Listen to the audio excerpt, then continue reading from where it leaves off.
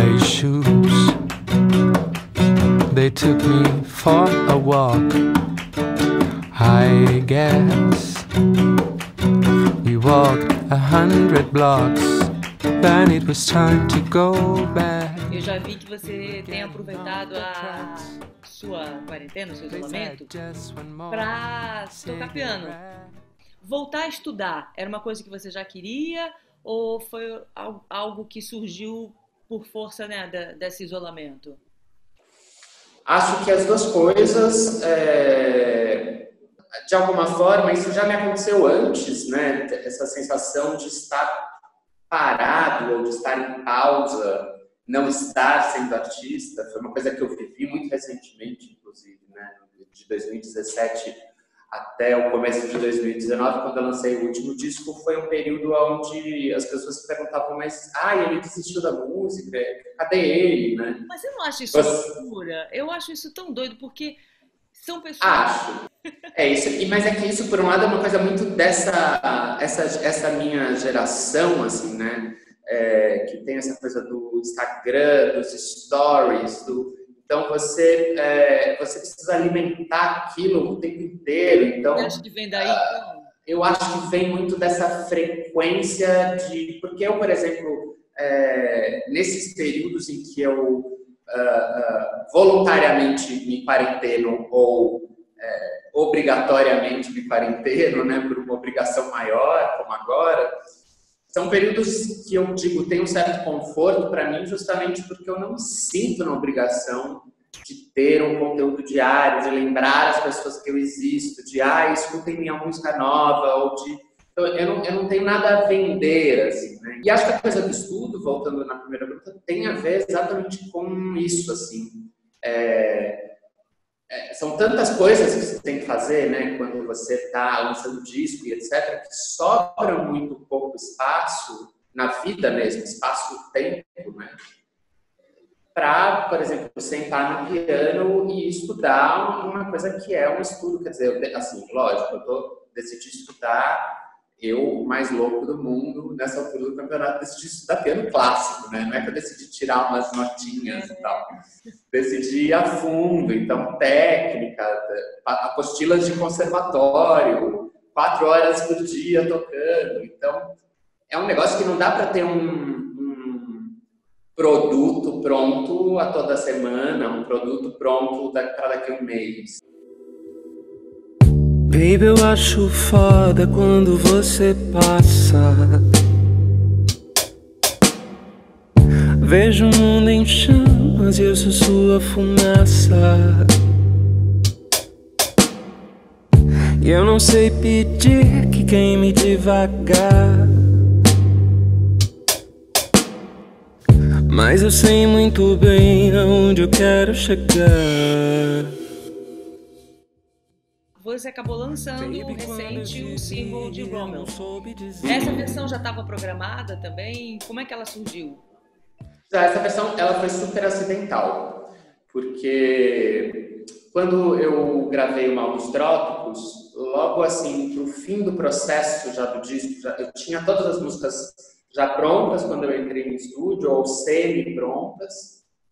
É, já eram nove músicas, ou pelo menos a ideia dessas nove músicas. E conforme eu fui gravando, foram surgindo ideias e desejos complementares ao disco. Assim, ah, nossa, agora que eu já sei o que é o disco, deu vontade de fazer mais coisa. E aí, no final do processo, eu comecei a escrever duas músicas. Uma eu descartei logo de cara, e a outra eu levei adiante junto com o Diogo e a gente chegou a gravar a música que é uma música que na época o nome dela era Tão Só.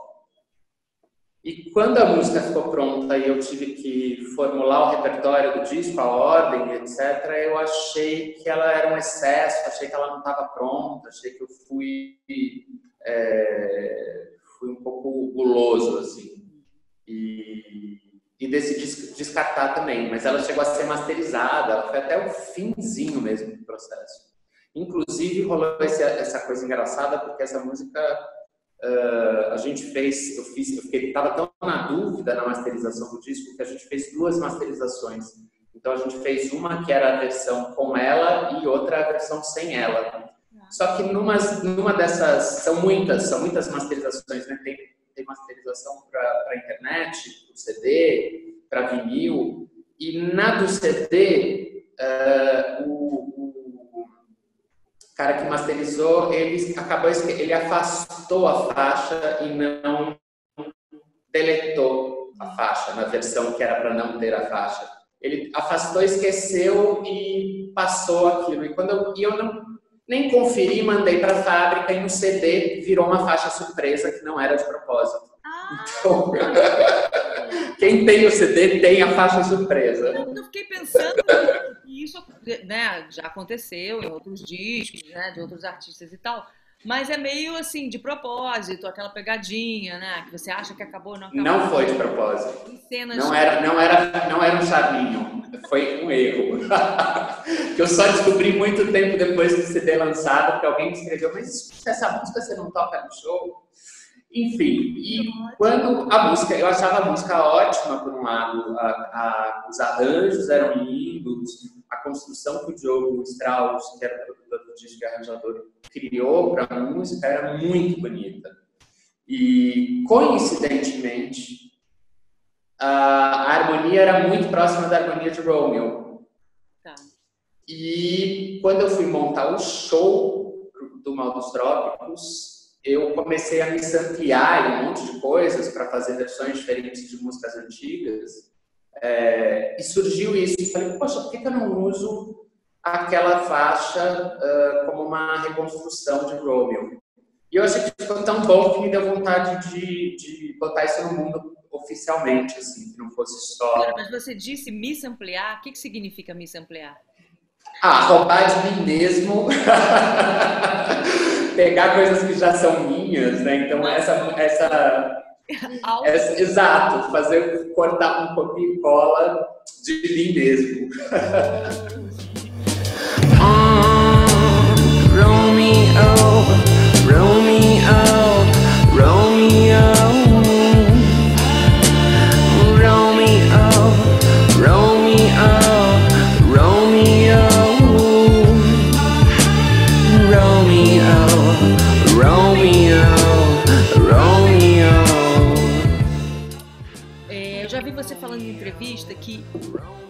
Mal dos Trópicos ele se assemelha é, de algum modo ao seu primeiro disco.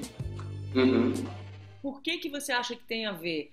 É, é mais no sentido de dos, dos, dois discos do meio terem um personagem? Que acho que tem, tem muitas relações que eu só fui enxergar, na verdade, quando o disco estava pronto mesmo.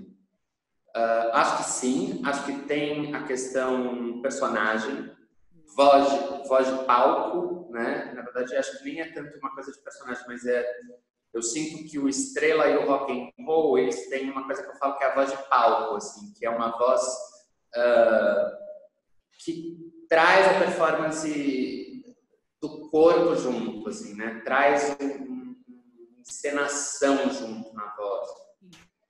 O Berlin, Texas e o Mal dos Trópicos são discos que eu sinto que tem uma voz que é mais a minha voz, a voz de estúdio, a voz da minha casa, a voz da composição. Assim. É... Mais, mais próximo da, da pureza de como as canções foram feitas?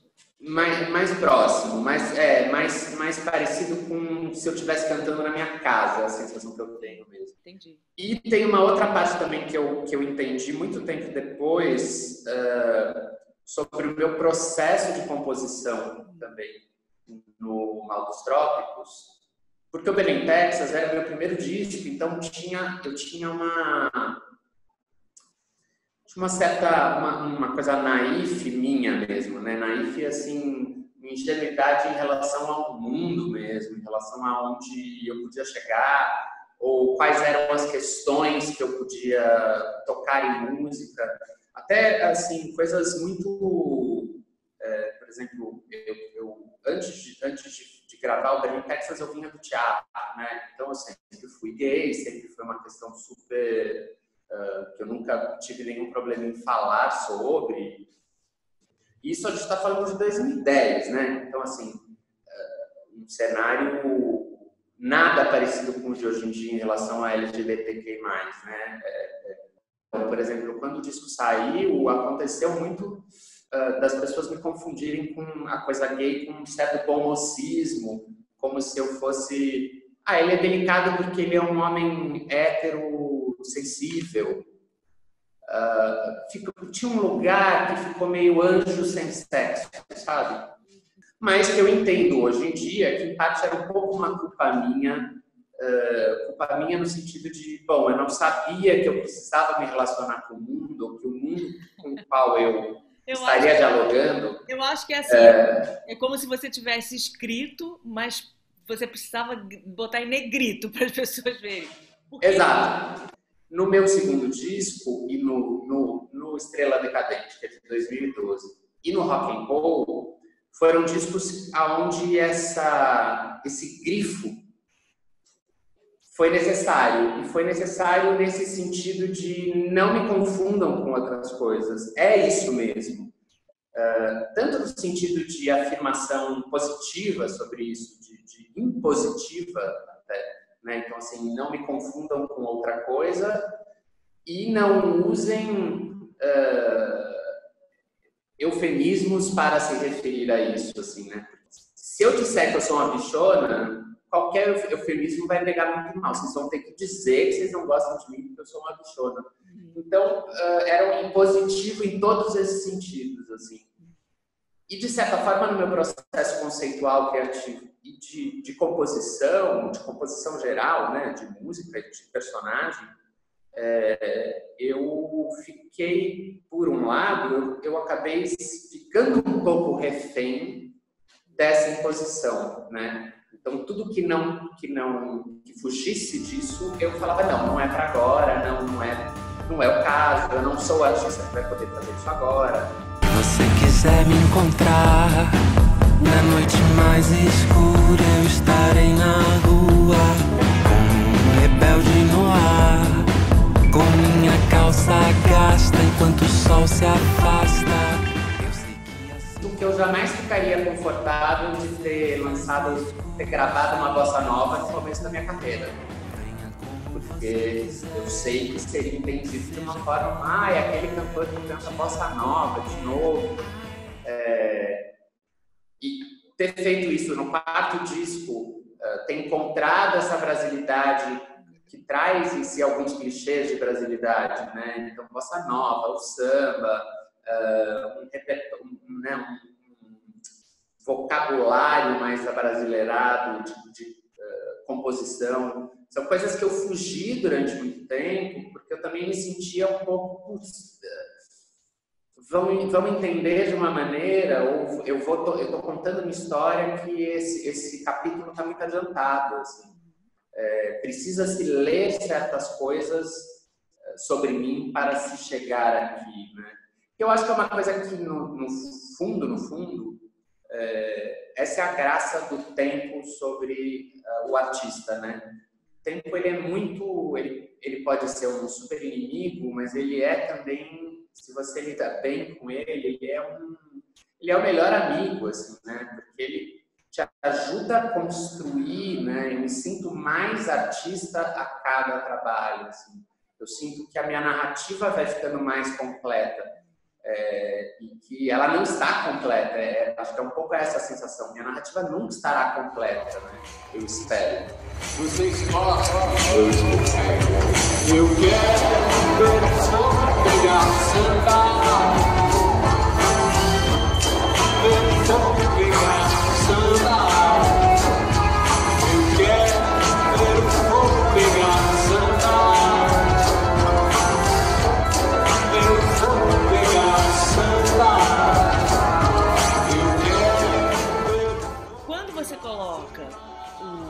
dizer, o carnaval não pode ser é, do jeito direto, uhum. batucada do Ilubá, com samba mesmo, com as, vamos dizer, com a escola na avenida, né? Uhum. Mas também tem uma coisa do carnaval que é um estado de espírito mais também subjetivo. Ao longo do tempo em que eu vivi como artista, eu nunca tinha encontrado uma situação em que eu pudesse falar de um Brasil que fosse um Brasil que me diga a respeito, um Brasil que passe pela minha linguagem. É, o Brasil que eu, como artista que eu conheci, era um Brasil muito mais alegre e muito mais uh, solar, de fato, muito mais solar que eu, né? É, o Brasil do Lula, o Brasil da Dilma, o Brasil lá de 2010, né? Então, é, progresso econômico, globalização, é, empoderamento, é, né? Tinha, tinha eram, eram questões muito mais solares, assim, uma visão de um Brasil muito mais solar, que não é a minha qualidade não é solar, assim, né? então não tinha muito como falar desse Brasil. E de repente o tempo e o artista eu sinto que se encontraram, assim, porque eu pude olhar para o Brasil e falar, bom, agora é minha vez, agora eu conheço essa linguagem para falar sobre isso que eu estou vendo. Um povo triste, um povo uh, um carnaval triste, um carnaval que a gente torce para chegar, porque a gente tem um ano inteiro de desgraça, um ano inteiro de infelicidade. É, essa dicotomia é muito minha, isso eu sei uh, contar, eu sei contar essa história. Né? Quero ser teu Orfeu, cantar nos teus braços, meu poema teu fazer do teu sexo o meu verso controverso. Meu desejo é festa pagã. Separei aqui, olha. Foi quando a gente se conheceu. ah! Esse é o primeiríssimo de todos, meu é, primeiro EP. Estúdio SP. O que, que você acha que tem desse disco aqui que você mantém até hoje? Eu digo assim, jeito de compor ou até algum mood, alguma. Hum, acho que o processo de composição desse do EP e do Berlin Texas eles foram bem parecidos porque eles são eh, são irmãos tá. separados assim, né? é, um meio se encadeou no outro, e o meu processo artístico mudou mesmo para pós-Berlim, Texas. Então, eles são quase a mesma coisa. É, o EP ele é mais experimental, é mais é, me descobrindo, assim, né? Descobrindo o que eu posso fazer. Mas essa coisa da, da composição tem um lugar da composição, que é esse lugar onde eu não estou preocupado com o que vai vir depois, que foi muito particular dessa época do, do EP e do Berlin Texas, e que é isso que eu sinto que eu recuperei agora. Assim. Não interessa tanto aonde eu vou chegar, ou, é, eu, não tenho, eu não tenho de antemão coisas para dizer, eu quer, vou deixar dizer. Assim. É, então, acho que isso ainda se mantém. Acho que isso não sei se se mantém, mas isso foi revisto agora, foi revisitado esse lugar. ma belle amie, je sais que tout vient, qui tout vient pour toi.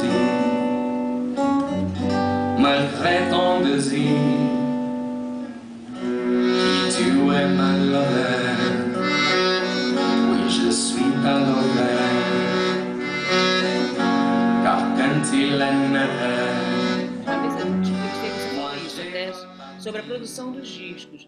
Você tem uma intuição de convidar produtores que, mesmo você não tendo uma gravadora por trás, vai pagar um super cachê e tal, mas você já chega, imagino que seja assim que você convença, né? Porque quando o artista não sabe o que quer e vai trabalhar com um produtor, né, que sabe muito o que quer, Sim. pode dar, dar errado. Quando você já chega com uma ideia pronta, olha, quero um disco assim, assim, assim, o trabalho do produtor é dar essa cara. Dar essa cara. Exatamente, do que você já indicou. Mas eu queria saber como é que é o seu processo na criação dos, dos vídeos. Eu tenho uma relação muito forte com a coisa da imagem cinematográfica, né? Isso me, me, isso é como se fosse assim, isso faz parte de quando eu já estou compondo, eu estou vendo o clipe acontecer, eu estou vendo o desdobramento da música em imagem já, né? Então, em geral, ah, assim como eu sinto que nos discos eu preciso chegar em alguma mensagem, né? Mensagem que eu digo eu quero contar alguma coisa sobre mim, eu quero dar um ponto a mais sobre essa música. Eu já tenho isso com os vídeos. Para mim, os vídeos eles são isso, inclusive, né? Eles são você leu, você ouviu a música, leu esse primeiro capítulo. Agora eu vou te apresentar o segundo capítulo, né? Dancing, dancing, dreaming of a neon light. Dancing. Então eu já chego em geral com clipes, eu já chego também com uma ideia muito clara. Eu, eu, eu quero falar disso, eu quero imagens assim, eu quero nananã, em boa parte é, é, claro que eu deixo alguma liberdade para as pessoas também criarem a partir do que eu estou colocando, é, mas em geral é sempre assim, é sempre bem, eu fico bem em cima. No ano passado aconteceu pela primeira vez uh, de, de, de, eu deixar um clipe na mão uh, de dois diretores, que foi o Márcio Reolon e o Felipe Matzenbacher, que são diretores de Porto Alegre, fizeram um longa-metragem que eu sou apaixonado, que se chama Tinta Bruta. E quando eu vi Tinta Bruta, eu falei, nossa, eu, eu tinha imagens para mim uh, de um clipe que tinha muito a ver com a densidade do filme, assim. É, a maneira como tinha uma coisa queer, erótica, e como era denso e violento é, e paranoico filme tem uma coisa meio paranoica, assim, é bem Brasil 2019, 2020 também. E aí eu falei, eu chamei eles para conversar, a gente não se conhecia, a gente se conheceu na estreia do filme em São Paulo, no festival. Passou umas semanas, a gente fez uma reunião, eu contei para eles tudo que eu tinha de fato na minha cabeça, essas palavras, assim, paranoia, erotismo, solidão, era quase uma premonição da quarentena. é, e, e, lembro de passar isso tudo para eles e eles falaram, tá. Passou uma semana, eles me mandaram um roteiro pronto, assim. E falaram, ó, se você aprovar, a gente daqui um mês está com tudo isso arrumado. Todas essas coisas normalmente são parte do meu processo. Eu quero estar junto, eu quero. E foi a primeira vez que eu falei, tá bom. Tipo, tá. Trabalhem façam. Lutem aí. E eu fui, fui participar como ator e foi, foi o clipe mais divertido, porque foi o que eu menos fiquei uh, em cima e eu amo o resultado. Deixe em pedaços no corredor do apartamento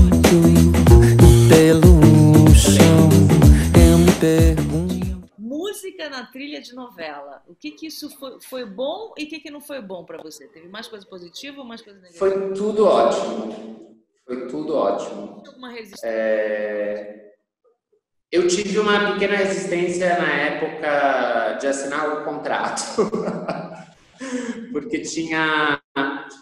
É, é uma loucura, né? Assim, a, a, a música é minha, é tudo meu, né? Não tem, não tem selo, não tem editora, na época não tinha, hoje em dia até tem uma editora, mas na época nem isso. Então, eu sou produtor fonográfico, né? Todas essas coisas sou eu mesmo. E quando surgem esse, esse tipo de convite, né? Eh, as grava... Vem gravadora que nunca falou com você, quer saber se você não quer gravar com ela, se o fonograma não pode ser dela, te oferece um milhão de coisas e não sei o que, não sei o que. Você fica meio assim, ai, pera, o que, que, eu, que, que eu quero com isso, né? Que, qual, é a minha intenção de ter a música na novela? Você se pergunta muitas coisas, assim. E na época de assinar o contrato tinha qualquer coisa assim é, que eu lembro que me incomodou, não vou me lembrar o que, que, era, mas era uma bobagem de ter que participar de algum programa, de coisa assim. E eu falei, não, isso não vai rolar. Tá. E, e só. E, e, quando a música entrou na novela, é, era uma novela muito chique, assim, né? Luiz Fernando Carvalho, é, as imagens eram muito bonitas. Tanto é que teve uma coisa de que até acho que a audiência da novela não deve ter sido das melhores, né? Teve uma coisa assim, é, uma certa resistência à novela porque era meio no, cinema demais. E para mim isso foi ótimo, porque tinha a ver com o meu universo, com o que eu gosto. É, Então foi tudo ótimo. E além do que, é, financeiramente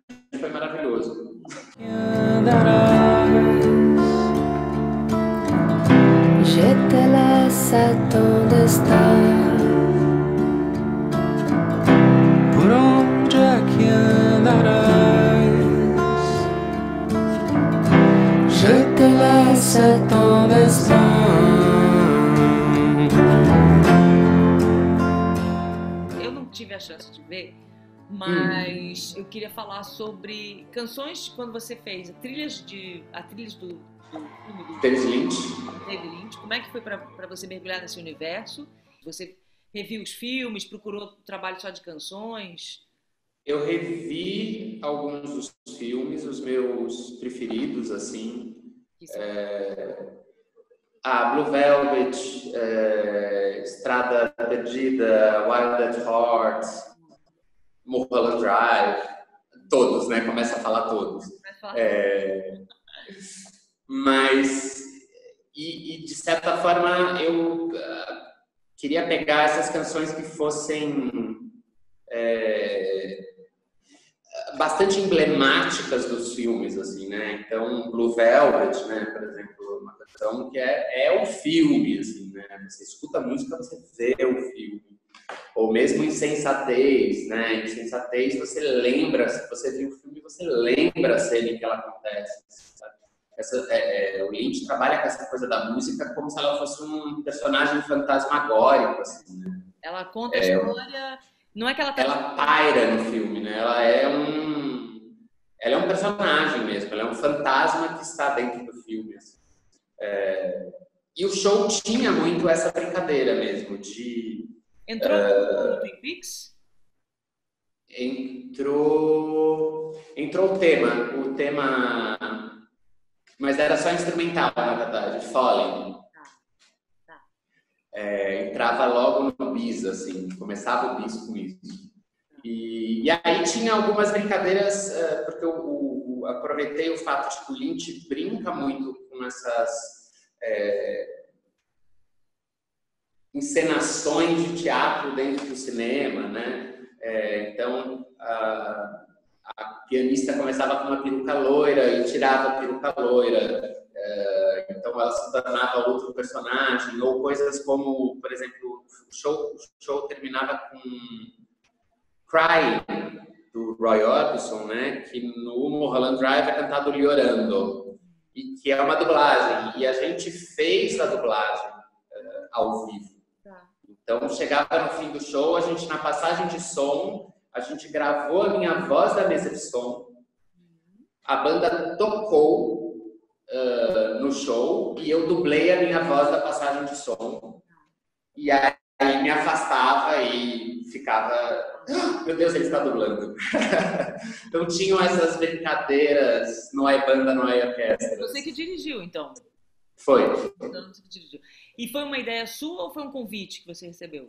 Foi uma ideia minha, era uma coisa que eu sempre quis fazer, assim, muito por essa, uh, por essa coisa de uh, o cinema tá tão dentro da minha música, assim, eu penso música de um jeito tão cinema, que eu acho que é um pouco como acho que o, o Lynch pensa cinema como música, né? É um pouco essa, essa relação que eu faço, assim, eu sinto que ele, ele já escreve o filme pensando que música vai tocar, eu faço a música pensando que imagem ela vai ter.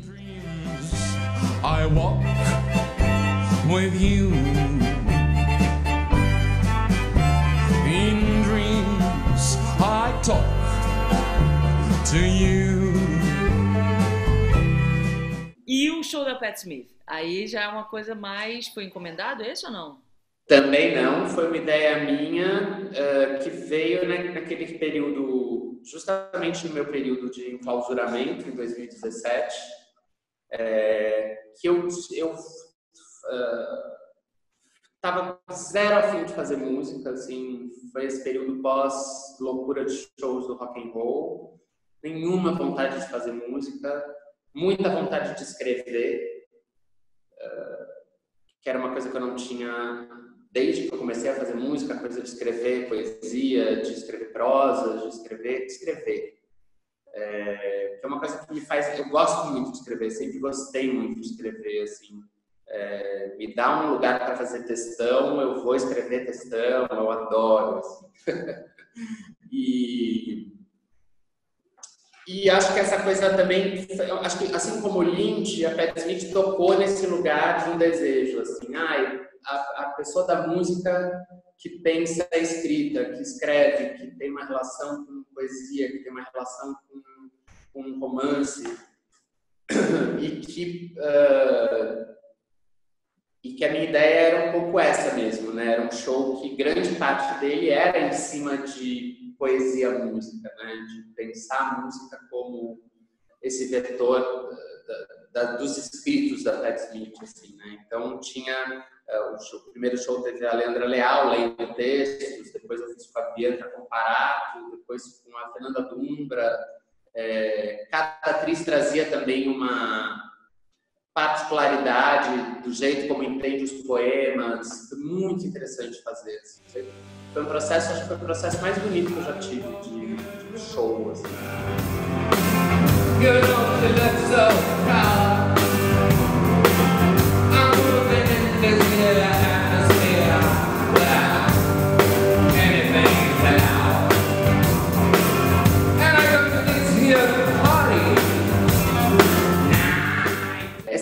Da quarentena, muita live, as pessoas, né, muita gente me pediu live, muita gente fazendo live, e é muito engraçado porque eu não tenho nenhuma vontade assim, de, de, cantar e de fazer.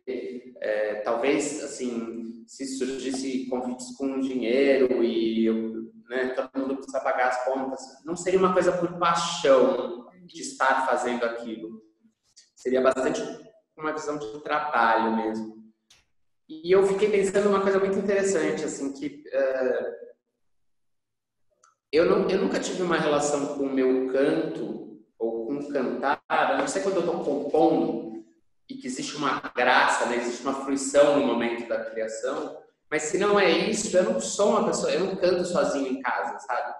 Eu não canto no chuveiro, eu não canto para me ouvir pelas paredes, é, eu não, não tenho uma relação com esse lugar de estar encantada pela minha voz, assim. Que acho que está tudo certo, acho que não tem nada de errado em ter isso. Pelo contrário, acho até maravilhoso. Adoraria me entregar mais como marinheiro para essa sereia eterna. Abrir a janela, aproveitar a quarentena e sair cantando para Exato, sair cantando. Eu tenho um amigo Vitor Ivanon, maravilhoso, cantor absurdo, ele tem muito isso.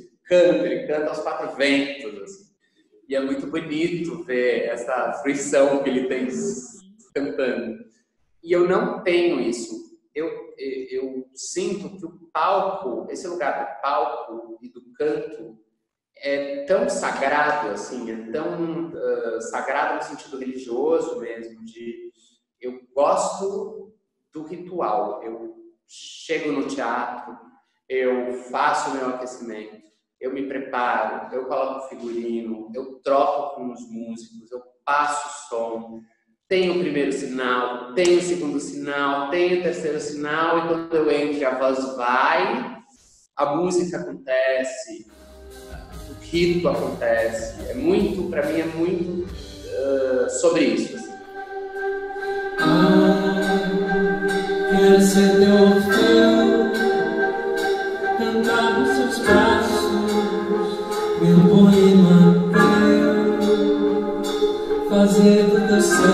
sexo